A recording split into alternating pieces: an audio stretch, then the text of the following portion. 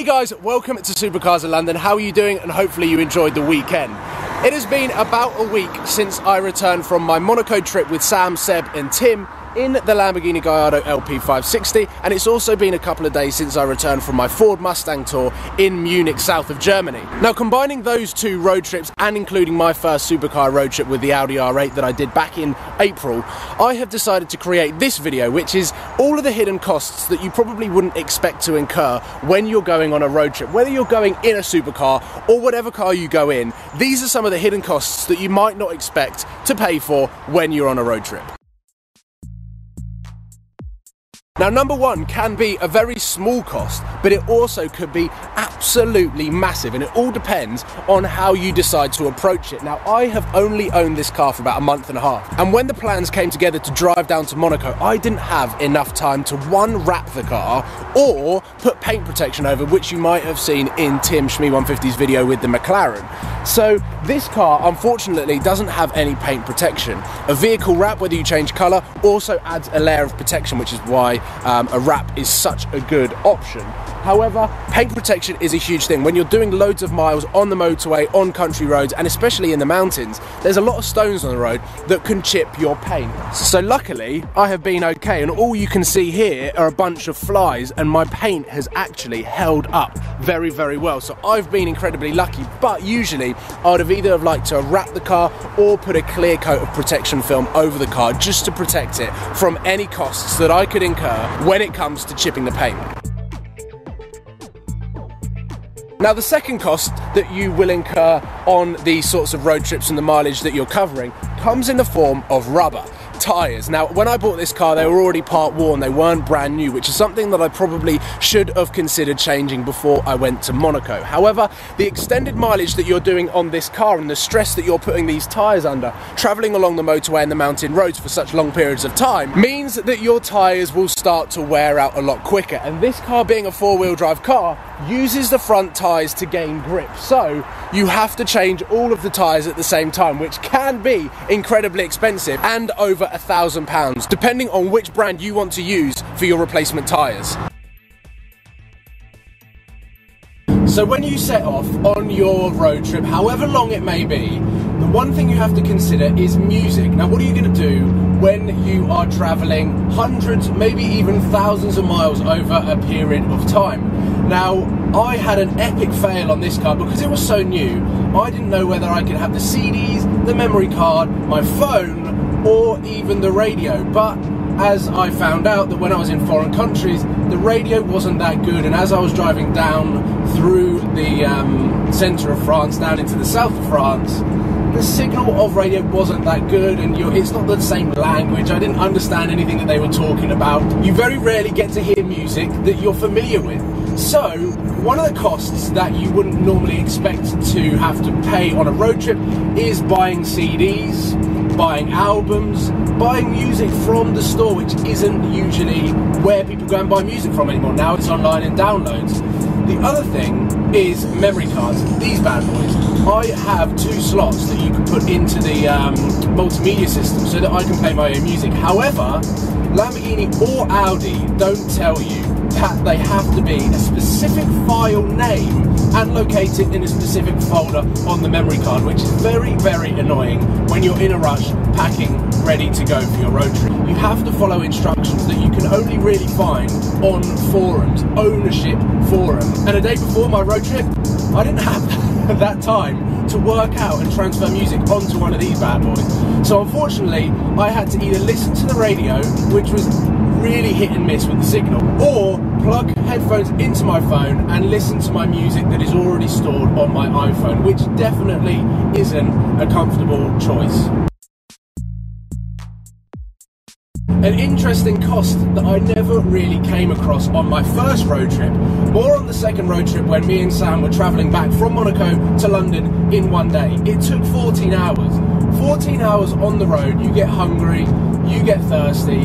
So when you're stopping for fuel, fuel is obviously a cost that you expect to incur when you are doing a road trip, and especially in a thirsty 5.2 litre V10. However, the one cost that I didn't really account for, albeit quite small, is when you're stopping at these fuel stations, you're filling up 85, 90, even 100 euros of petrol, but then that goes over to like 110, sometimes even 115 on snacks, whether that's energy drinks or sweets or biscuits, whatever it is, your diet goes out of the window. You just impulse buy everything in the petrol station. So every time you stop off for fuel, which happened three times on the way back from Monaco to London alone, you end up incurring costs up to 50 euros, which is completely stupid. But then I've got stuff still in my car for that road trip. I've still got sweets down here. Give me two seconds. I've still got sweets.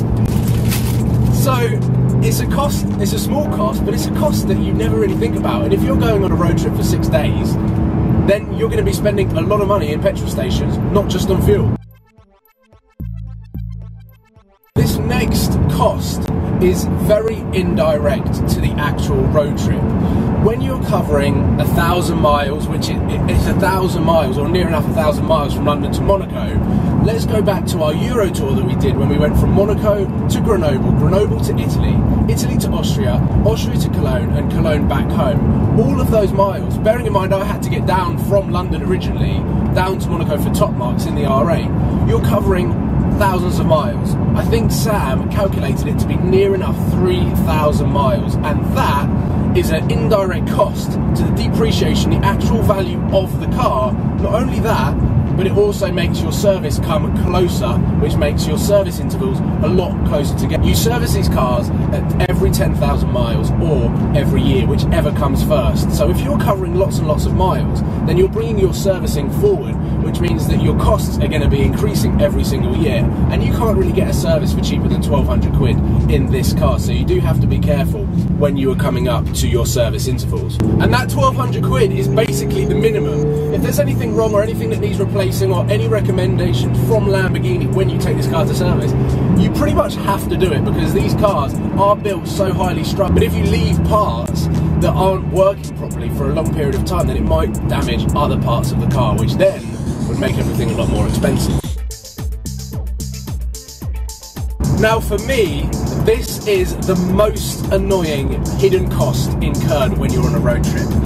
And it's something that I've had to deal with both in my R8 and this car. Because this system here in the SatNav is exactly the same in the R8 and the Lamborghini Gallardo, in the R8, I hated it. It was an awful system. It didn't work. It took me down one-way systems. It took me down bus roads specifically designed for buses when I was in Paris. In Europe, this thing is awful. In England, it's not even that good. You can only type in four-letter postcodes, and as most people know, they're now seven or eight digits. So this system is very, very dated, and I hate using it. Which means if I want to know where I'm going anywhere in Europe, I need to download Google Maps or Waze. Now these two apps are free to download.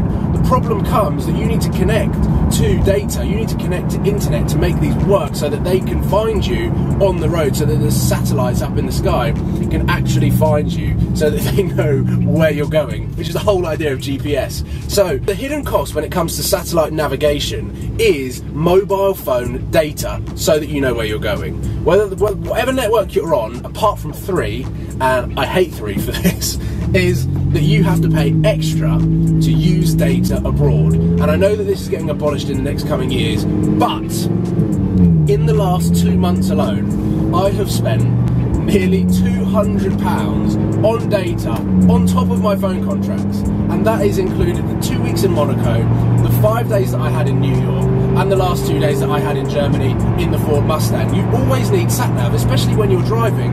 You need to know where your end destination is, or you need to know where your lunch stop is. So, mobile phone data is one of the biggest hidden costs that you can incur when on a road trip.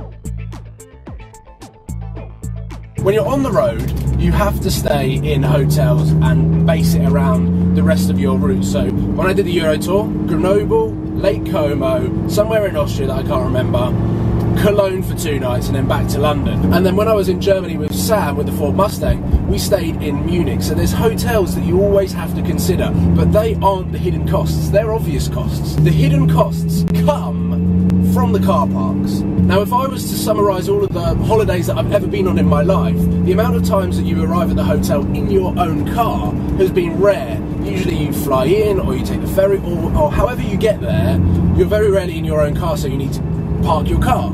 However, on these road trips, you always have your car, and that means you have to pay for hotel parking, which sometimes isn't cheap. In Germany, I think we paid around £25 for the 24 hour service, but it wasn't 24 hours, so it was quite expensive compared to some of the parking that you might be able to get in shopping centres here in the UK. And over the road trip that we did with the Europe with my R8, staying in five or six hotels, that adds up and it becomes 200 euros pretty quickly. You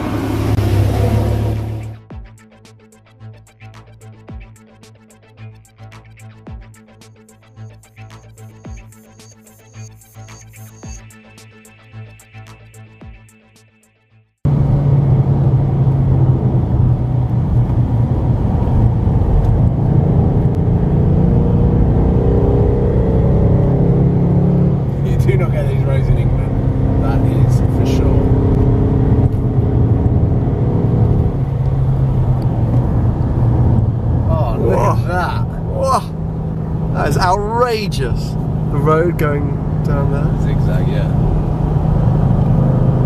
Yes, Germany.